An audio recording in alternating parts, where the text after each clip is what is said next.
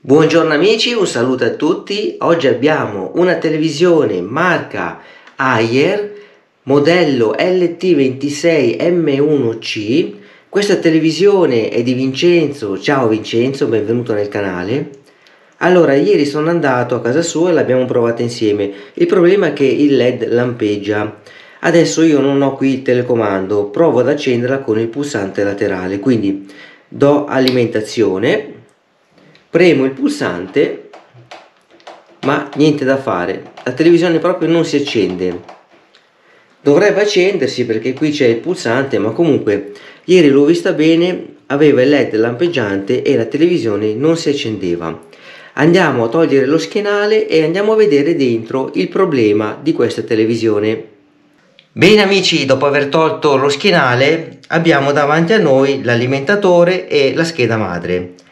Io mi concentro di più sull'alimentatore perché se non ho nessuna luce qui davanti il problema secondo me è proprio l'alimentatore. Prima di tutto ho già preparato il tester per fare le varie misurazioni. Iniziamo subito sulla parte primaria del nostro alimentatore. Quindi vado a misurare su questo condensatore se abbiamo qualcosa andiamo a vedere più e meno come vedete dal tester abbiamo 396 volt, perfetto, quindi sulla parte primaria l'alimentazione è a posto. Direi di andare subito sul secondario del nostro alimentatore, quindi su questa parte qua abbiamo, vi metto qui in descrizione eh, la fotografia più ingrandita per capirci meglio, abbiamo l'uscita con il voltaggio esatto di ogni filo. Abbiamo 5 volt 24 e 12 volt iniziamo subito a mettere un puntale al negativo del secondario e andiamo a testare i primi 12 volt andiamo a vedere se abbiamo perfetto abbiamo 12 volt adesso andiamo sui 24 e abbiamo i 24 indoviniamo un po' che cosa potrebbe mancare a questo punto? Andiamo a misurare i 5 volt e vediamo cosa abbiamo. Abbiamo un abbassamento di corrente di 3 volt quindi qui il problema è proprio sul ramo dei 5 volt. Per individuare il problema io direi proprio di staccare la nostra scheda andare sul banco da lavoro verificare le piste che portano ai condensatori dai 5 volt dall'uscita fino ai primi condensatori che andiamo a trovare per poter fare i primi test su questi condensatori. Una cosa che ci tengo tanto a farvi vedere è questo vecchio strumento che ho costruito circa 25-30 anni fa e l'ho sempre utilizzato per poter scaricare il condensatore sull'alimentatore primario. Come abbiamo visto prima, sul condensatore primario ci sono 360 volt, 90 quello che era, e sono ancora qui dentro, quindi se io vado a mettere mano su questa scheda, anche se non ho il filo di rete, posso beccarmi una bella botta su questo condensatore e vi assicuro che fa molto male. Quindi con questo strumento utilizzo sempre i puntali del tester e vado a scaricare il condensatore. Ok condensatore scarico. Adesso in sicurezza posso andare a smontare la scheda dell'alimentatore e finalmente metterci mano per capire il problema sui 5 volte qui su questi condensatori. Andiamo subito sul banco da lavoro Eccoci qua, finalmente sul banco da lavoro, non vedo l'ora di smontare questi condensatori, quindi sulla linea dei 5 volt ho trovato due condensatori, il C954 da 470 microfarad 16 volt e l'altro condensatore da eh, 330 microfarad 16 volt in posizione 953. Benissimo, non perdiamo altro tempo, andiamo subito a disaldare per disaldare vado a mettere prima un po' di stagno nuovo sui pin del condensatore in modo da poter rimuovere il condensatore più facilmente. Quindi faccio in questo modo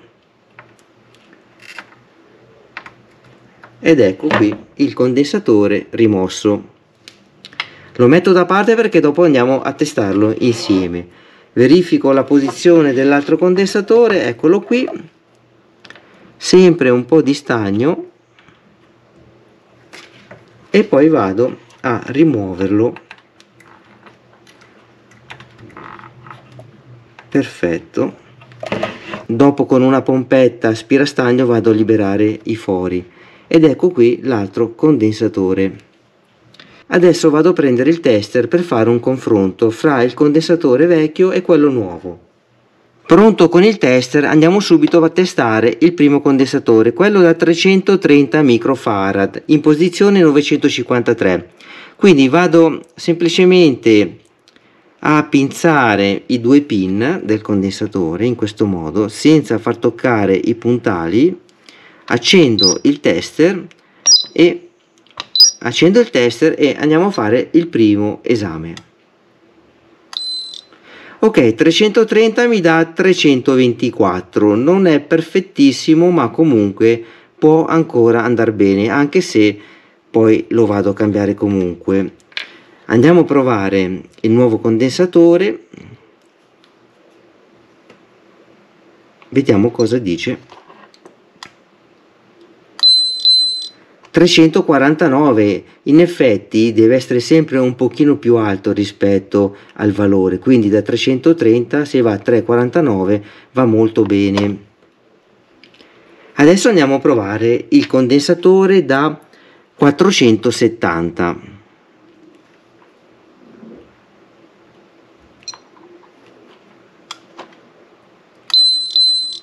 abbiamo un 456 è un po' scarso. Andiamo a provare quello nuovo. Ok proviamo. 482 meglio ancora perfetto. Anche le SR va molto bene 0.22 ohm perfetto. Io direi proprio di sostituire i due condensatori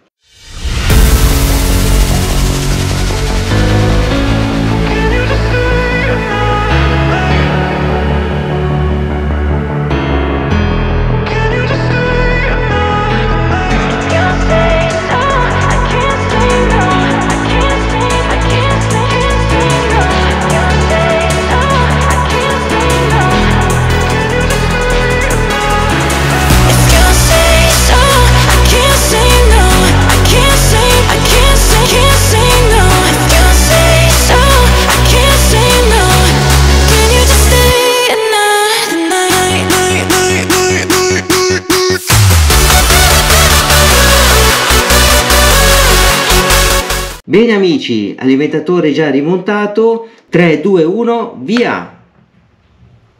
Corrente inserita e andiamo su, ecco qua, guardate già da queste luci bianche, significa che il pannello è già acceso, quindi è tutto funzionante, ma prima di tutto andiamo a verificare se abbiamo i 5 volte.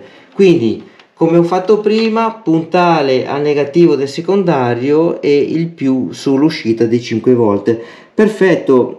Vedete abbiamo 5,25 vabbè quel 25 lì comunque sempre meglio in più che in meno ve lo dico io. 3 volt prima e adesso 5,25 perfetto. Il televisore è stato riparato. Andiamo anche a vedere qui davanti scusate la ripresa se abbiamo il led blu. Il led blu c'è perfetto allora, come dico sempre amici, televisore riparato, like meritato. Un saluto a Vincenzo, ciao ragazzi, ci vediamo alla prossima, ciao ciao ciao.